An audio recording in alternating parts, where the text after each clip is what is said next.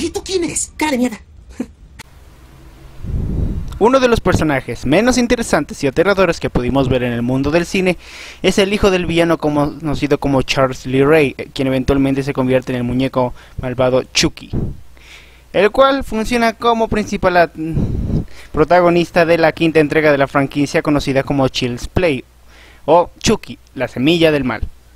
En este video explicaré más o menos qué es Shitface Hablaré sobre sus orígenes, historia y por último explicaré todo lo que sabemos acerca de este medio antagonista.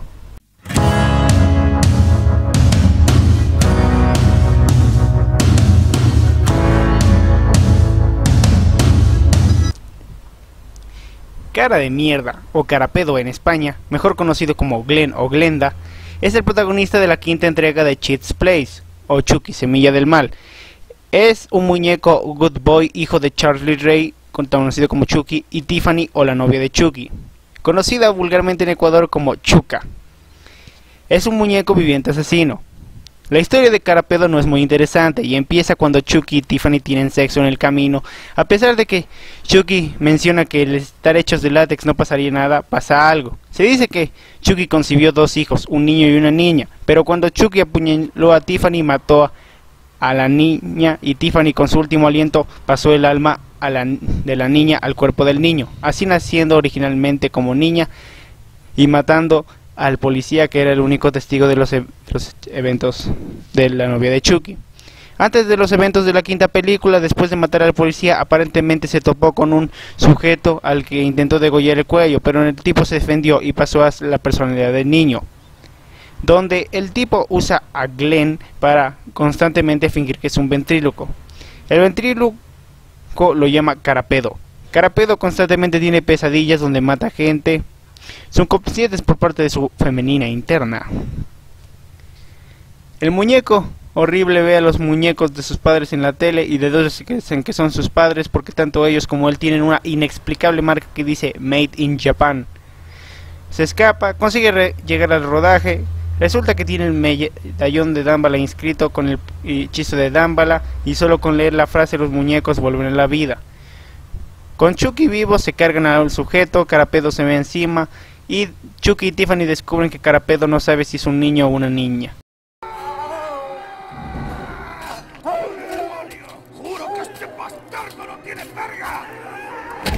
Entonces Chucky y Tiffany deciden bautizarlo como Glenn y Glenda respectivamente.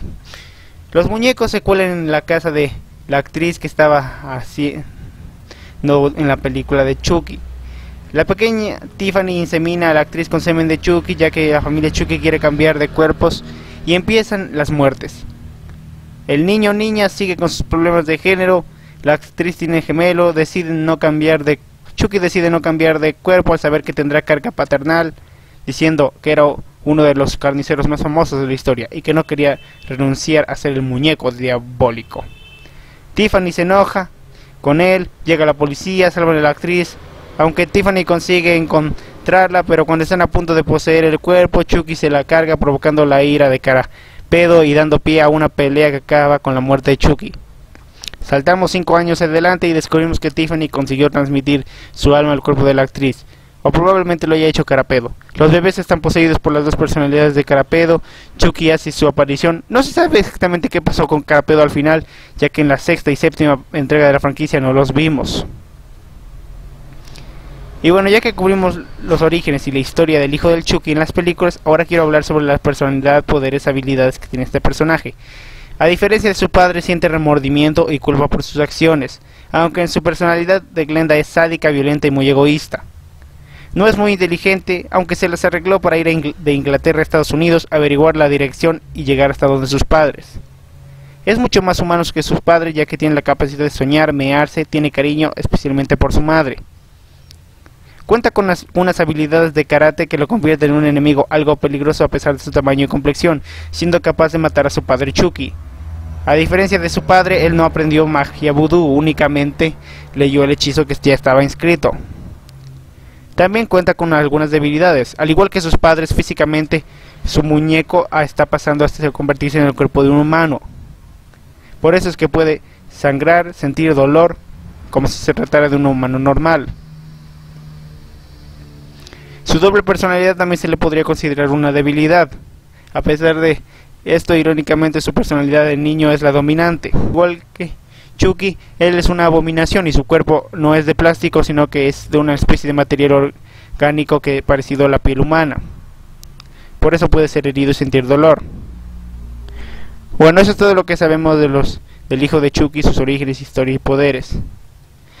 Una curiosidad es que cuando se estaba diseñando el diseño de Glenn, algunos productores querían que se pareciera a Chucky, pues era su hijo, mientras que otros querían que no se pareciera, que ya que tenía personalidad diferente. Es por eso que el hijo de Chucky tiene pelo rojo y ojos azules, pero en diferente tono. También este es el origen del el meme, qué aburrimiento y qué tal si. Por último, la principal característica del hijo de Chucky es la siguiente.